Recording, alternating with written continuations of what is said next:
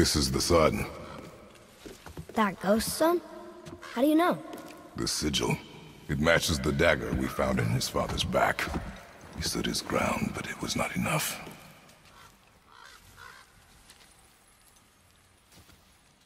They betrayed him.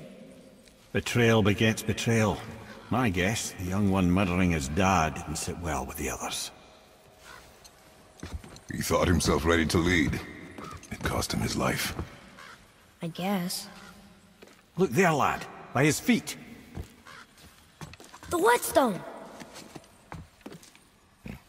Yes. They used it to smash his face in. They did? Ew.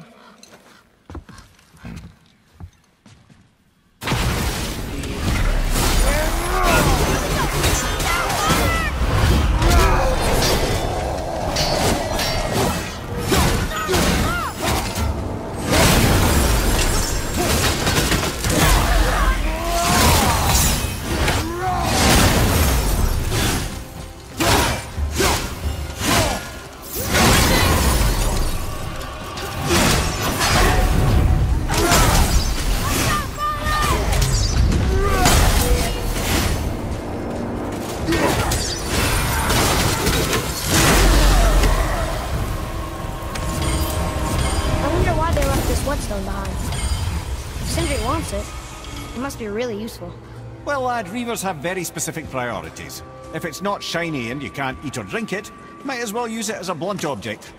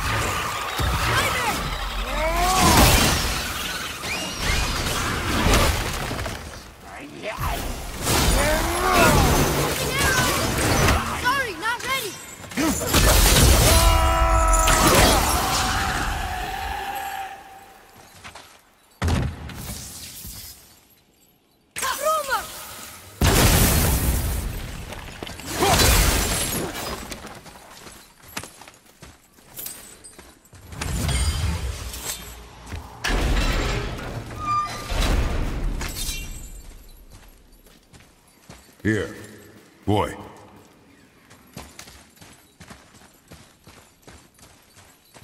There's a scroll here. It belonged to the son. Wow, this goes on and on. Father, forgive me, filled with remorse, forget my actions. Hmm. Had he thought before taking action, there would be no need for regret, yes? Yeah, maybe we should bring this to his father, back at the store.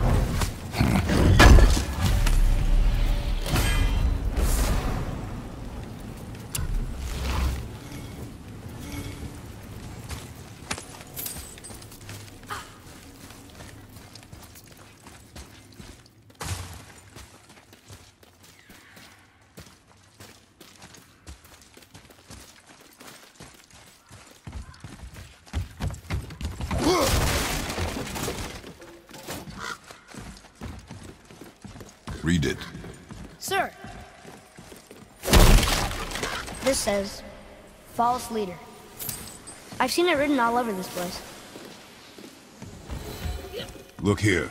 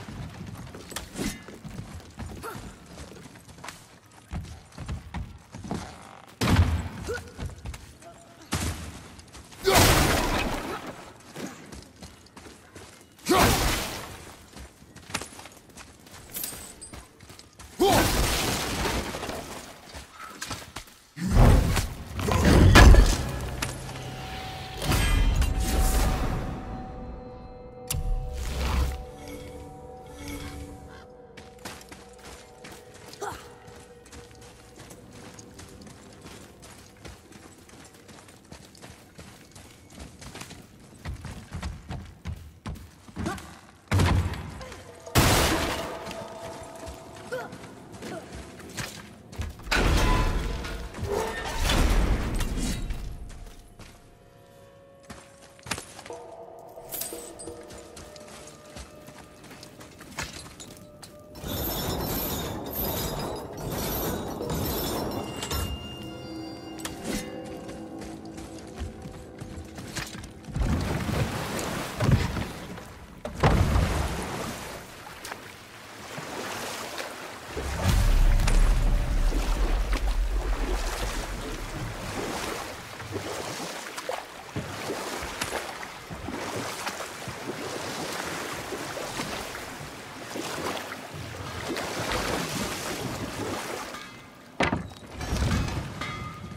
You didn't happen to find the whetstone, perchance?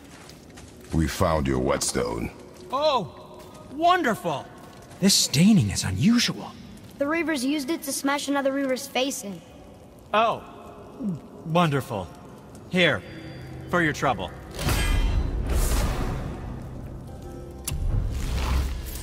I can't wait to test out the new whetstone. It may not look like much, but it's practically humming with magic. I've needed a new one after my brother borrowed the last one. I saw him spit on it. To lube it up, he said. I didn't ask for it back. Hey, did you hear? Magni, the Aesir god, son of Thor, dead! I know!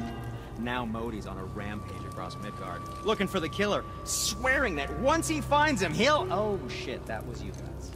We should probably discuss that more quietly. Or not at all. I think that's a great plan. Did you really make that axe for my mother? Oh, I'd recognize it anywhere. Ask me. It's one of our best. Infused with the echoing screams of 20 frost trolls. Give or take. But why her? How did you know her?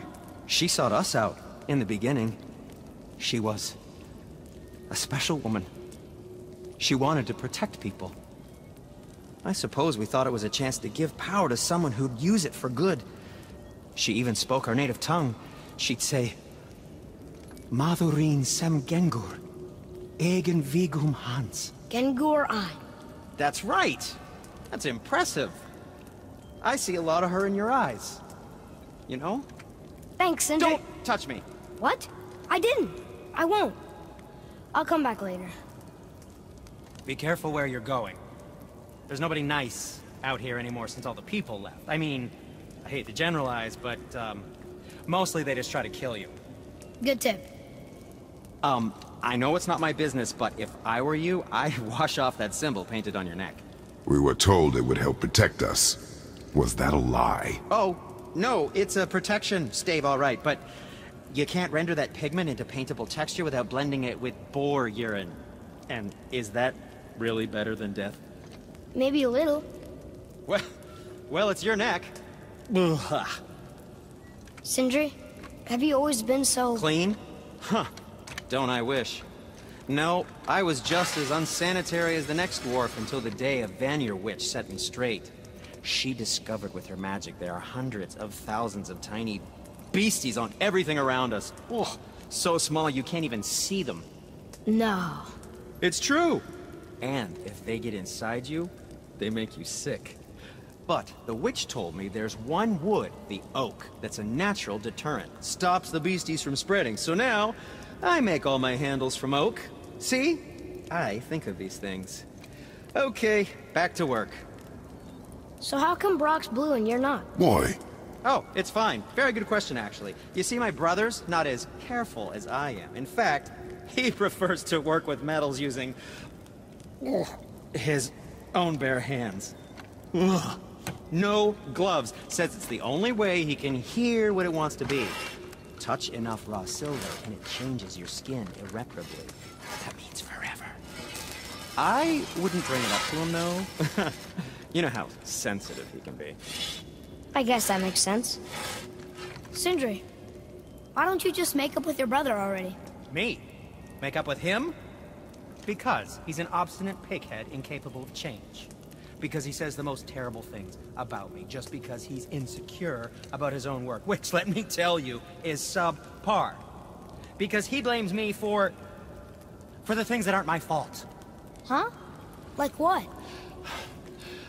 Would you pardon me, please? I need to collect myself.